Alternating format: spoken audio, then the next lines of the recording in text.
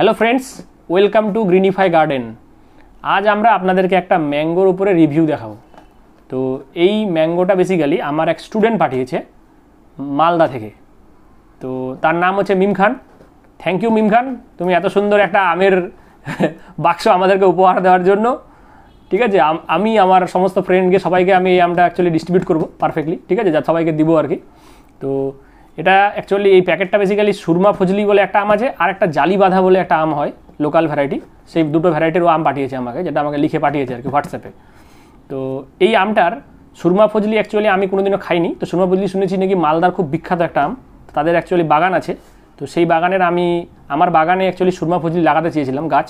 তো সত্যিকারই লাগাবো কি না, সেটা ভাবার জন্য আমি অ্যাকচুয়ালি আমটা টেস্ট করে দেখতে চাইছিলাম অরিজিনাল কেমন।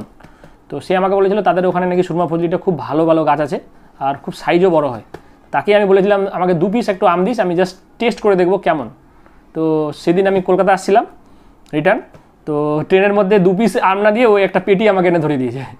তো আজকে আমরা এই পেটিটা বেসিক্যালি আনবক্সিং করব, সাথে আমরা আমের কি কোয়ালিটি সাইজ সব আপনাদেরকে দেখাবো, সাথে টেস্টও করে টেস্টের রিভিউ দেবো। আচ্ছা ঠিক আছে, তাহলে আমরা চলুন, আমরা এই বক্সটা আনবক্সিং করি। ভিতরে কি কি আম আছে, সেগুলো আমরা সব দেখব।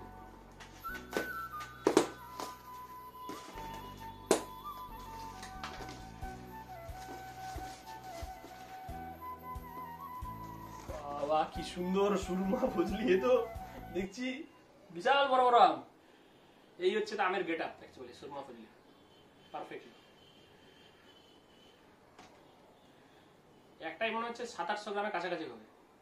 যা দেখতে পাচ্ছি ভ্যারাইটি বড় বড় সাইজ আছে। আর প্রত্যেকটার স্ট্রাকচারই আলাদা আমটা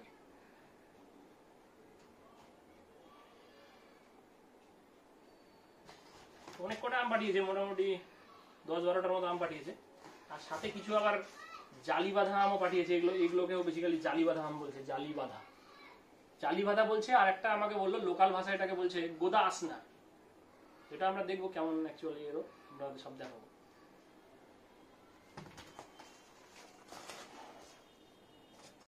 আচ্ছা এটা হচ্ছে একটা ওয়েট মেশিন আছে আমাদের কাছে, তো এই ওয়েট মেশিনটা আমাদের ল্যাব পারপাসে ইউজ করি। ছশো গ্রাম ম্যাক্সিমাম ওয়েট মেজার করা যায়। তো আমরা কয়েকটা আম দেখব। আশা করি বেশি, আমি বললাম আটশোর কাছাকাছি আছে, তো এক দুটো আম দেখি কীরকম সাইজ আছে, সেটা বোঝার জন্য আর কি আমরা ওয়েট করে নিচ্ছি। যেমন এটা একটা আম দিচ্ছি আমরা। পাঁচশো কুড়ি গ্রামের কাছাকাছি মানে পাঁচশো একুশ। হ্যাঁ পাঁচশো বাইশ গ্রামের কাছাকাছি আছে।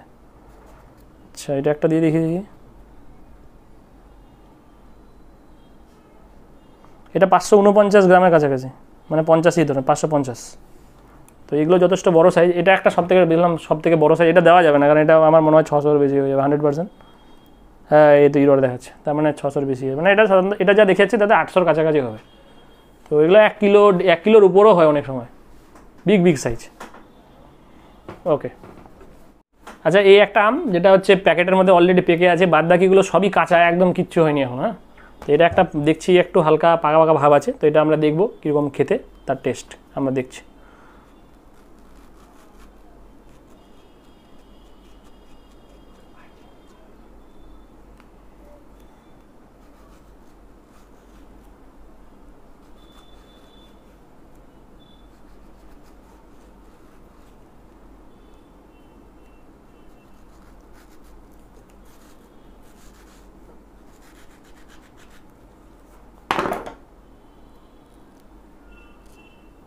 এই হচ্ছে তার দেখতে ফ্লেভার কালারটা দেখতে এরকম, আমটার ম্যাঙ্গোটার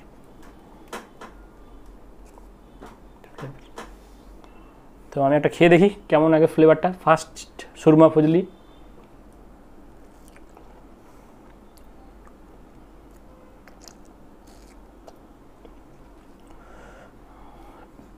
মানে কি বলব, এত সুন্দর ফ্লেভার আমটার। মানে আমি এত আম খেয়েছি, তার মধ্যে আমাকে ফ্লেভারটা অসাধারণ লাগল।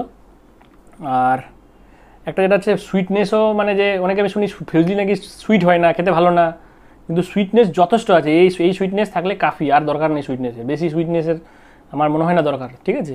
তো এটা যা আছে পারফেক্ট কিন্তু একটা যেটা দেখলাম, একটু ই আছে মানে ই আছে ফাইবার আছে। হালকা একটু ফাইবার আছে। খুবই সুন্দর খেতে। এটা আমার বাগানের শিওর আমি রাখব হান্ড্রেড পার্সেন্ট আচ্ছা ক্যামেরাম্যানকেও তাহলে এই যে নাও তুমি নাও